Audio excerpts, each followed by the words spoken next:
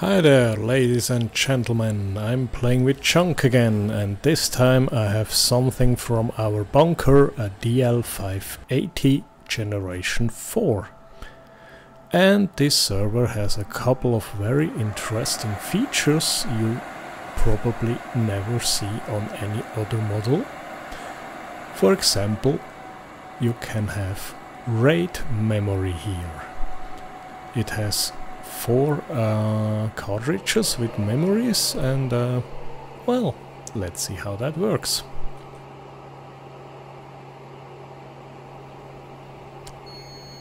Uh, at first we have a small problem here, we have a, a failed memory board, or at least th the system thinks we have a failed memory board. And the best way to cure an error like that is to simply unplug and replug all the modules and at least this time that trick worked and it solved the problem and we don't have any memory problems anymore.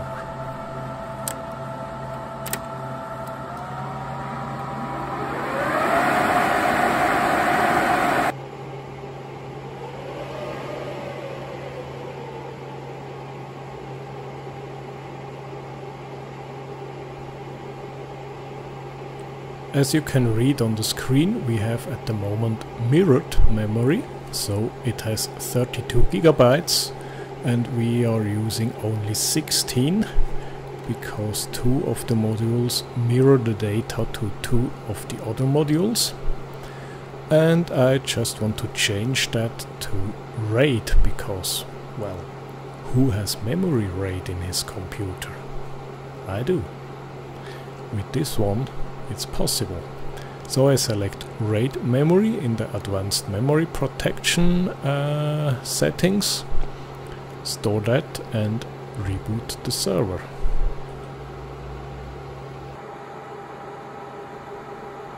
As you can see the four modules are blinking and it takes about two minutes for them to get ready and you see we have RAID enabled. The boards are removable so each of them can be removed, but only one if you have RAID. And you can also see we have 32 gigabytes, from which we can use 24 gigabytes and uh, 16 gigabytes are reserved for the RAID function. One of the modules is lost. Uh, well, it's not lost, but you can't use it.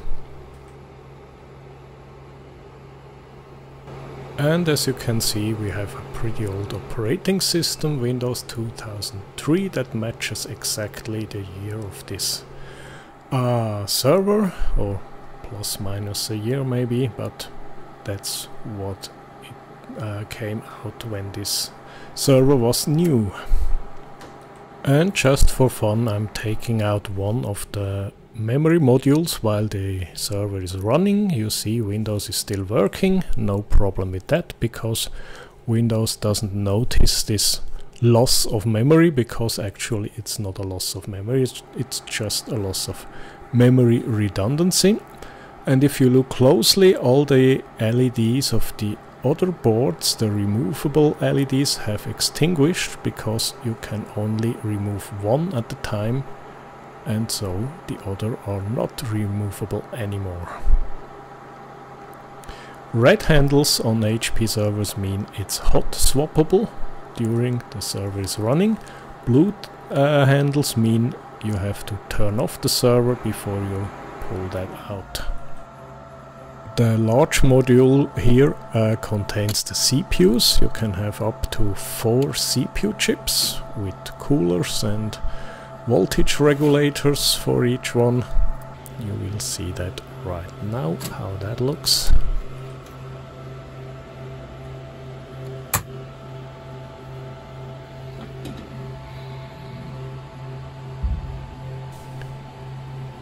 There are two voltage regulator modules for two CPUs. We have two empty spaces and two slots for more voltage regulators.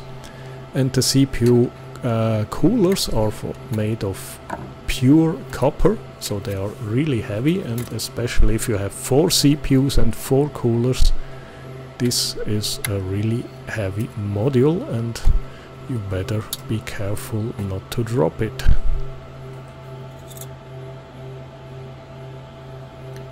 It's a Intel Xeon CPU with 3.2 GHz and 800 MHz frontside bus. So you can look up what CPU number this is. I, I, think in those times they didn't have uh, any type numbers, so they are identified by its beat and that's it.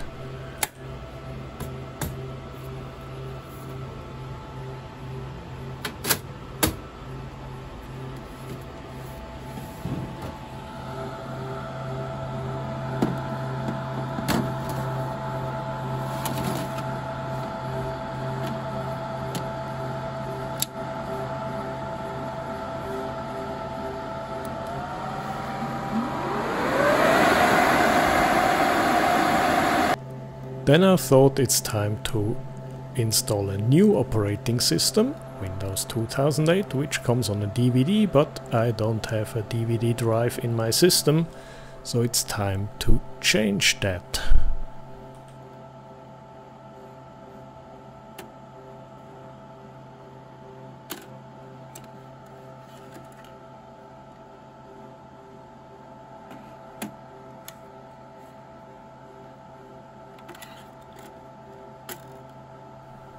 As you can see, replacing an optical disk drive here in this system is extremely simple.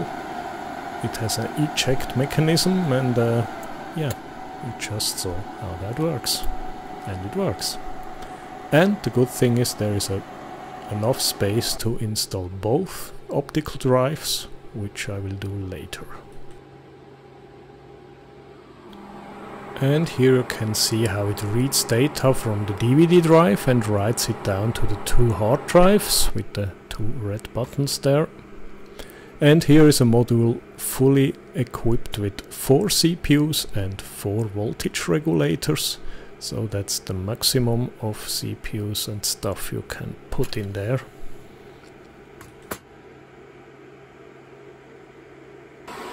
Here we are on the back side, that's one of the power supplies, it can deliver 1300 watts. And of course in a server we have two of them for redundancy. That doesn't mean we have 2600 watt, but we have two 1300 and if one fails it still works. Then we have the usual connectors, USB, LAN, and we have PCI Express, which was quite new then. And that's the uh, eject mechanism for the optical drives. It's pretty complicated and, well, not really necessary, but a nice touch. Then we have redundant fans, so if one fails, the other still blows through it, and a couple of interconnect boards with the CMOS battery here and the beeper and here the PCI slot board. And everything else is in the drawers on the front and on the back. So that's the entire server.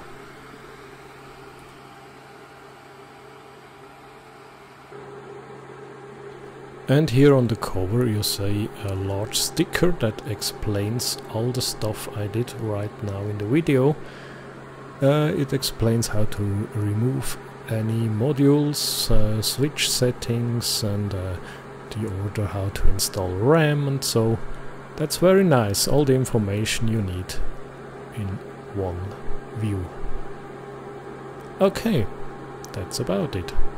Thanks for watching. Bye bye.